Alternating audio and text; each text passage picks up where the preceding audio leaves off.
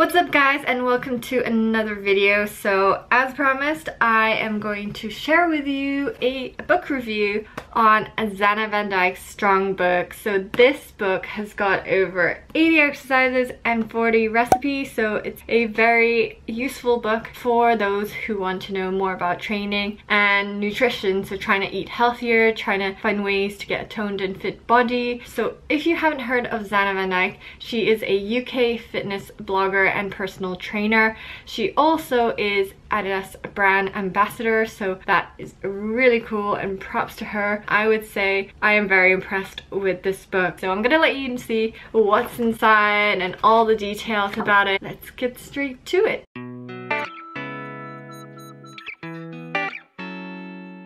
So you'll see her book is divided into kind of four sections. First you get an intro and then her move section is all about training and different exercises and planning for the exercises and nourish where you get all her recipes and they look amazing. So I am so excited to try some of her recipes. I really need to get onto it. And then like an end note with a conclusion called Thrive. So uh, let's go on to talk about the first part, of course, is the introduction. So it's nice, short, brief introduction about her, kind of getting to know her, on to take her story, her journey. So the next part is part two, the training and exercise part, which she calls Move. Look at that back. So her fitness principles, they lay out the foundations as to how to live a healthy and balanced lifestyle. And she talks about resistance training so the benefits of it. So she really lets people understand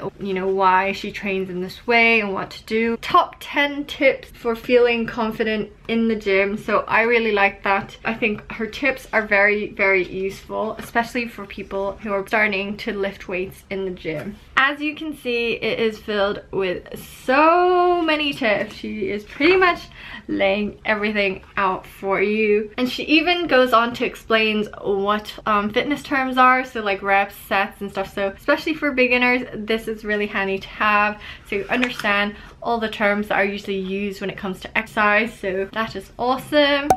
And one thing I noticed is she puts a whole upper body and lower body warm-up routine. You know, I've seen a lot of fitness books and they don't actually include this, so props to you, girl. And then she's got her glute activation routine, so lovely diagrams, simple steps as to how to do them, so very clear, very easy to understand, so it's good. So she provides two exercise programs that you can do. So one for beginners and one for advanced. She um, sets it up as upper body, lower body, everything for you there laid out very nicely. And then you get a full body too. So you get upper body, lower body, full body. And then you get the advanced one as well. So the advanced ones are a little bit more complex and challenging. So, you know, you can always start out with the beginner progress to doing these more advanced workouts so you're constantly challenging your body making progress so in such advanced ones you get barbell squats sumo deadlifts and barbell hip thrusts so this one's a really great glute workout. The only comment i'd say is she doesn't mention how long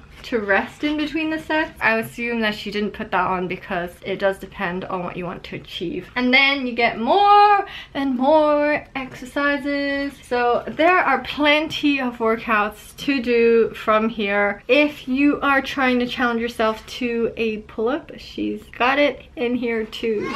So I know a lot of people when they come to their fitness journey, they like to challenge themselves to that. If you don't have access to the gym, you can do body weight HIIT training. So all of this has like got no equipment, just full body workouts. Again, she does one for a beginner and she does one for advanced. So you can see here, you got like burpees, commandos, lunges, plank jacks, blah, blah, blah, blah, loads of good stuff. Obviously, if you do those exercises over and over again, your body is gonna adjust to it. So it's gonna not really make progress and you're just gonna get better at it. It's gonna be easier for your body to do it. She provides tips on how to step it up make it more challenging so that you are going to progress and see changes. Everything is just so clear, nice and easy to read, which is what I love about it. How often should I train? What form of cardio should I do? Is there anything I should avoid? Are there any daily activities I can do? You know, how should I train? So all of that is answered for you in this book. She even goes to show a whole weekly workout routine for beginner, intermediate, and advanced. And then she goes on about recovery and, you know, about sleep and stress, which is kind of over again, just as a warm up and cool down is overlooked. And those are really important aspects as to leading a healthy lifestyle. So she writes about that and how often she you should stretch, you know, about progress and goal setting. If she really goes right into the details, but it's, it's not too much to be be overwhelming. So, you know, things like I can't fit training into my diary, you know, suggest how you can. So she gives an example here again, if you can see. She gives all the tips that she uses and really kind of tries to help you here. So that is for the training part. For the eating part, she calls it Nourish. And oh my god, they look so delicious, you know. She talks about macros here if you're interested in that. Talking about sugar as well and portion sizes, you know, moderation, mindful eating, and, you know, resisting temptation. There's plenty of information here to take on. So I really like how she doesn't just go on to giving the recipes. She kind of shows what she thinks about food and nutrition. And look at that. My mouth is just like watering seeing these because they look so yummy. She divides her recipes into breakfast, lunch, dinner, and sweet treats. So the breakfast includes things like oats, cinnamon spice, protein, smoothies, toast toppings. I look so happy looking at the recipes. Ah!